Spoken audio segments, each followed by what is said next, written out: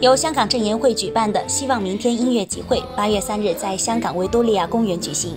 大批民众从全港各区汇聚于此，支持香港警察和香港特区政府，呼唤理性，反对暴力。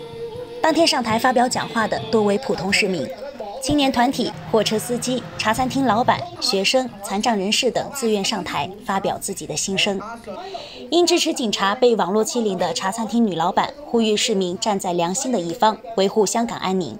早前被非法示威者围殴的货车司机，希望年轻人学会尊重和礼貌。青年团体则表示，忽略自律的争取自由是自私。更有青年学生高喊口号，呼吁大家支持警察，反对暴力。当天的音乐集会以歌曲《明天会更好》拉开序幕，随后《海阔天空》《真的爱你》《狮子山下》《东方之珠》等港人耳熟能详的歌曲轮番响起。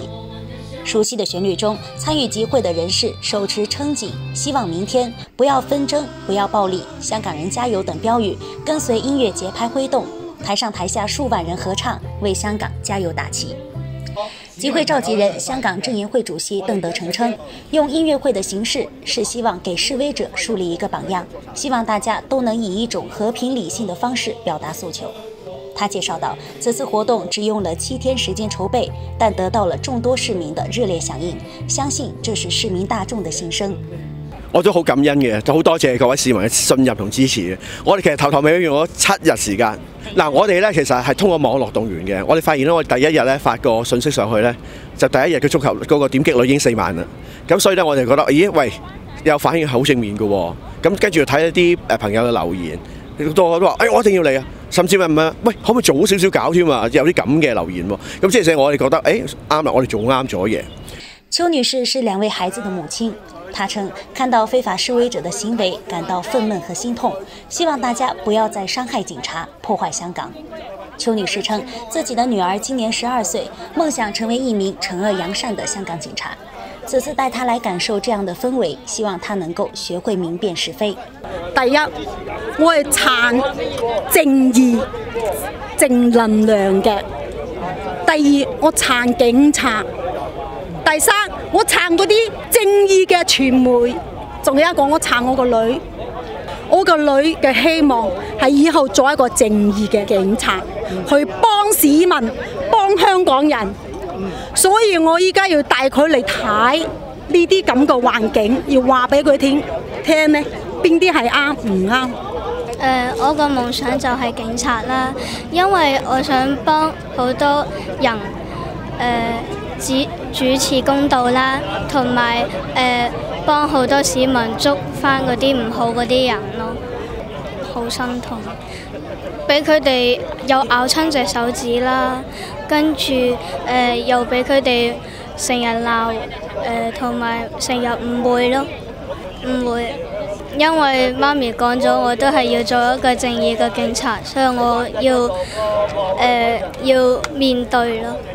今年六十七岁的吴卓荣是一名退休消防队员，从事消防工作三十余年。吴卓荣坚持用普通话接受采访，表达自己对香港警察、香港特区政府的信心，同时希望香港年轻人热爱祖国，有民族荣誉感。呃，这次我出来的原因就是，我觉得香港的朋友，呃，凝聚这个爱国的力量。出来，呃，为香港，为香港的明天的好，就出来说，警，怎么说呢？就是支持香港警察，支持香港政府。嗯，呃，我觉得香港的警察受到那个，呃，打、挨骂还是怎么样，我觉得很不应该的。不过我对香港的爱国的朋友。很很有信心，什么信心？就是凝聚爱国的力量，把这个歪风呃打下去。然後我对香港的警察有这个呃信心，把香港的治安可以守护好，对香港的政府有信心。来自意大利的雷纳托，二十多年前便已来港。当天，他手拿一叠自己印制的“我爱香港警察”的贴纸，逢人便发。他称看到社会混乱，仅对被侮辱，感到生气和难过。香港是个非常棒的地方，希望能尽快恢复社会秩序。I'm from Italy. I've been here for 20 years. I'm here to support the Hong Kong police and support the rule of law for Hong Kong. It's a great city. It's safe. It, it, it was safe. It's working. Everything. Public services are great. Well, you look at the news every day. You see people breaking public property, fighting against the police, and I want to show. And I want to show up to support the police.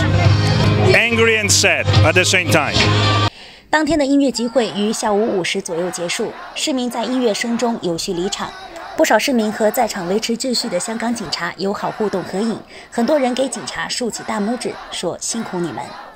大会宣布，截至下午五时，有九万人参与集会。